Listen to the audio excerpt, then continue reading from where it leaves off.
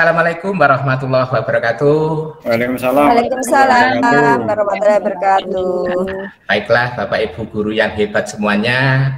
Sebelumnya saya ucapkan selamat pagi, salam sejahtera untuk semuanya. Selamat berjumpa. Eh, ya, selamat pagi. Gimana semuanya sehat semua?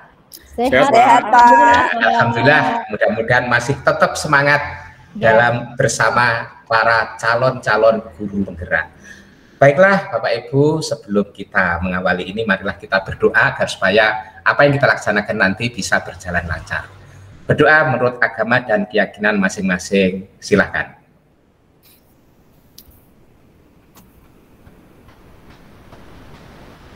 Ya, yang sudah bisa mengakhiri. Baiklah Bapak Ibu, untuk kali ini saya akan menyampaikan paparan tentang program guru penggerak. Izinkan saya untuk share screen. Sudah kelihatan Bapak Ibu? Ya Pak, oh, baik. Ya, ya, Pak. Baiklah. Ya, ini akan saya akan menyampaikan program pendidikan guru penggerak.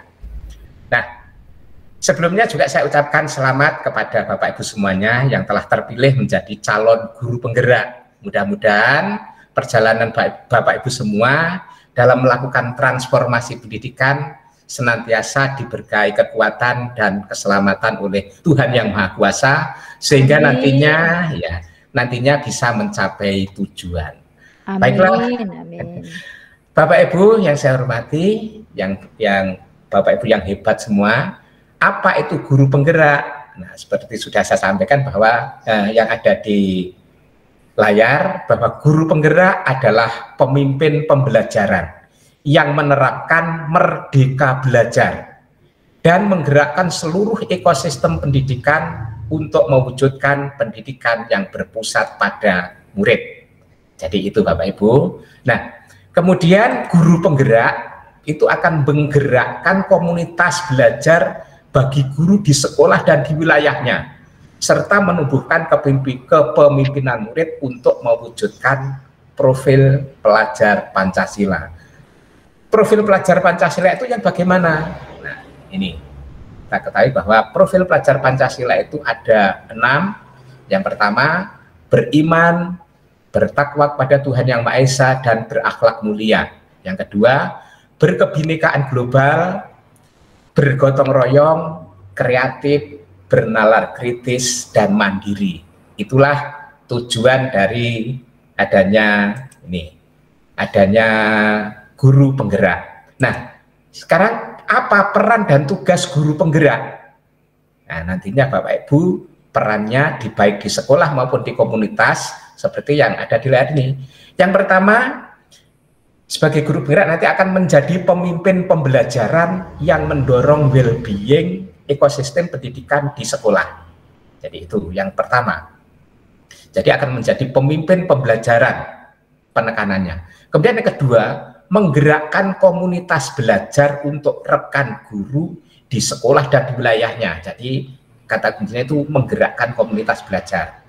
Kemudian yang ketiga menjadi coach dan mentor bagi rekan guru lain terkait pengembangan pembelajaran. Jadi nanti akan menjadi coach atau pelatih atau pembimbing ya, bagi guru yang lainnya. Yang keempat membuka ruang diskusi positif dan kolaborasi antara guru, dan juga pemangku kepentingan baik di dalam maupun di luar sekolah. Yang tujuannya untuk meningkatkan kualitas pembelajaran. Dan yang terakhir, nanti mendorong peningkatan kepemimpinan siswa di sekolah. Yang dalam arti siswa itu nanti akan menjadi siswa yang apa, apa tadi menjadi siswa murid yang sesuai dengan profil pelajar Pancasila Baiklah Bapak Ibu sekalian. Nah, untuk setelah kita mempelajari apa yang saya sampaikan ini, marilah kita berdiskusi. Silahkan dibuka link di Jamboard yang sudah saya share di chat ya, kolom chat. Silahkan dibuka, Bapak Ibu. Gimana? Sudah kelihatan Bapak Ibu ini? Sudah, Pak. Iya. Nah, di sini Bapak Ibu nanti silahkan semuanya untuk berpendapat ya. Di sini kira-kira Bapak Ibu saat ini sudah menjadi sudah mendaftar sebagai calon guru penggerak. Apa tujuan Bapak Ibu mendaftar menjadi calon penggerak apa itu menjadi guru penggerak? Silakan ditulis di sini. Ini siapa yang ini Pak Karti ya? Oke. Ya, Pak Karti di sini mengembangkan diri. Ya, tujuannya Pak Karti adalah untuk mengembangkan diri. Coba Pak Karti barangkali berpendapat mengembangkan diri yang bagaimana artinya? Monggo Pak Karti. Di mana? Ambil. Kok hilang tadi Pak ya? Enggak, ada itu. Mbok. Oke. Eh, maksud saya begini Pak, ikut Ya. ke guru penggerak itu dalam artian karena di dalam program guru penggerak salah satunya harus belajar, harus meningkatkan kompetensi terkait dengan eh, pembelajaran, mengajar, kemudian mengajar yang lebih baik sesuai dengan eh, konsep Merdeka Belajar, maka tentunya di situ saya akan menjadi eh, lebih banyak pengalaman, lebih banyak pengetahuan dan sebagainya. Artinya saya mengembangkan diri saya selain Iya. juga ke mengantar para eh, selain me- apa ya mensukseskan program pemerintah ini. Terima kasih. Iya, Pak. iya, iya, terima kasih. Bagus sekali. Ternyata Pak Karti ingin mengembangkan diri agar nanti menjadi yang lebih baik. Kemudian untuk yang kedua, untuk Bu Titik, monggo Bu Titik, di sini bermakna untuk sesama. Jadi, Ya, Pak. ya, eh, ya, Nah, saya berpikiran karena saya posisi saya seorang ya Pak. Tentu saja saya mengikuti program ini agar saya warna bisa bermakna untuk yang lain Pak. yang lain ya, untuk termasuk untuk guru dan siswa. Ya, baik. Nah, terima kasih. Ba- Ya, sangat ya, bagus sekali. Sekarang untuk Bu Binti, silahkan. Ber, di sini ingin berkontribusi dalam menyukseskan Merdeka Belajar. Baik. Ya. Terima kasih Pak Imam. Eh, menurut saya ini kan eh, Kemendikbud itu punya gawe besar, misi besar ya Pak. Yaitu Merdeka Ya. Belajar. Di situ eh, saya sebagai guru itu ingin sekali eh, berperan, berkontribusi eh, supaya program Merdeka Belajar ini bisa sukses. Jadi Iya. saya ingin menjadi bagian dari program Merdeka, Merdeka Belajar yang sudah dicanangkan oleh Kemendikbud. Iya, sangat luar biasa. Ya, mudah-mudahan semuanya nanti apa yang menjadi cita-cita Bu Titi, eh, Bu Binti bisa terpakai. Ini Bu Diah ingin menjadi pemimpin pembelajaran. Nah, gimana maksud? Selama ini kan Bu Diah kan juga guru. Gimana? Tolong diberi penjelasan. Baik, terima kasih Bapak. Jadi di sini saya ingin menjadi pemimpin pembelajaran yang berpihak pada murid, Bapak. Jadi Oh, melakukan ya menjadi motor perubahan untuk merubah paradigma pendidikan, melakukan transformasi perubahan ke pembelajaran yang berpihak pada murid. Terima kasih. Iya. Ya, terima kasih. Nampaknya semua sudah berpendapat dan tujuan dari Bapak Ibu ternyata sangat luar biasa, masing-masing berbeda dan mudah-mudahan apa yang jadi tujuan Bapak Ibu bisa tercapai.